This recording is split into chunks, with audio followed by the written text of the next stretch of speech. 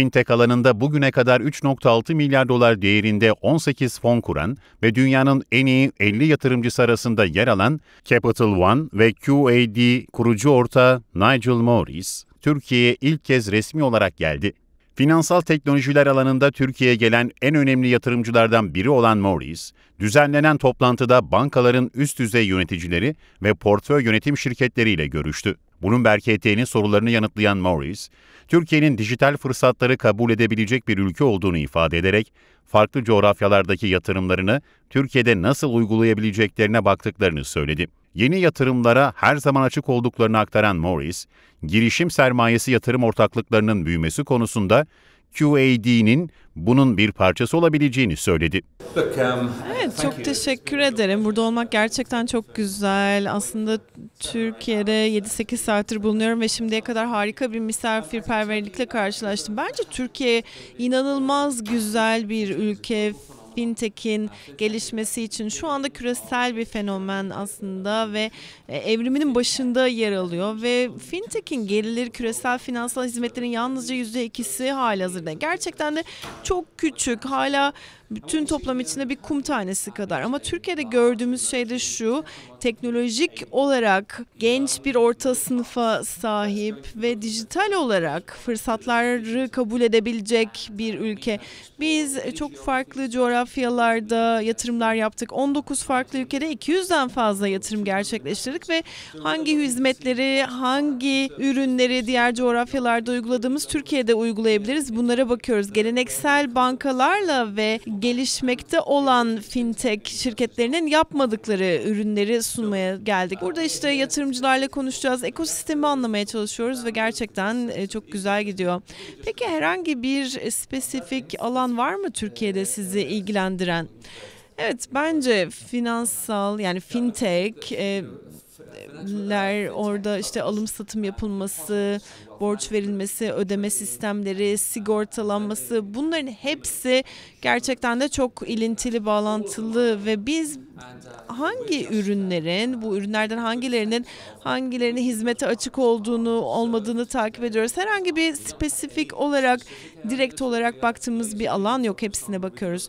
Peki bir şirkete yatırım yapmayı düşünüyor musunuz bu yıl ya da gelecek yıllarda?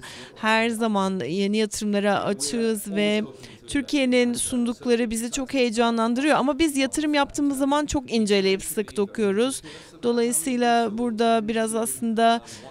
fotoğraflara bakmaktansa videoyu izlemeyi tercih ediyoruz. Şirketleri biraz daha fazla izleyip onları incelemeyi seviyoruz ama şu anda spesifik bir şirket yok yatırım yapmayı düşündüğümüz. Şimdi e, Türkiye'deki ekosistem uluslararası açılımda biraz zorluklarla karşılaşıyor. Neler yapmalı acaba bu zorlukları aşmak için? İnanılmaz bir coğrafyanız var. Bunu farkına varmanız gerekiyor. Aynı zamanda 90 milyonluk bir nüfustan bahsediyoruz ve çok canlı bir ülke. Dolayısıyla şu anda yaptığımız 17 e, yıldır yaptığımız yatırımlar e, coğrafi olarak e, çok fazla acele edebiliyor ve ilk söyleyebileceğim şey şu olabilirdi. Kendi coğrafyanızı önce keşfedin, sonrasında diğer coğrafyalara gidin.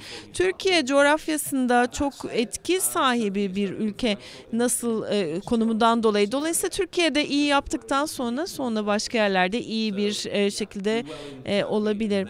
Türkiye'deki girişim sermayesi fonları çok yeterli değil gibi duruyor. Bunu daha iyiye getirmek için neler yapılabilir?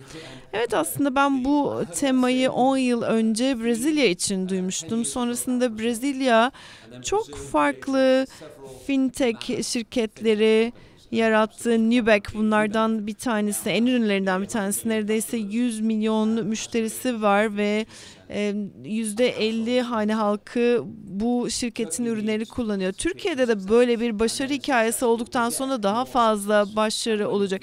Daha fazla başarı olunca birbirini tetikleyici şekilde daha fazla büyüyen bir şekilde olacak. Yani QED belki e, burada e, bir şekilde bunun bir parçası olabilir bu sürecin.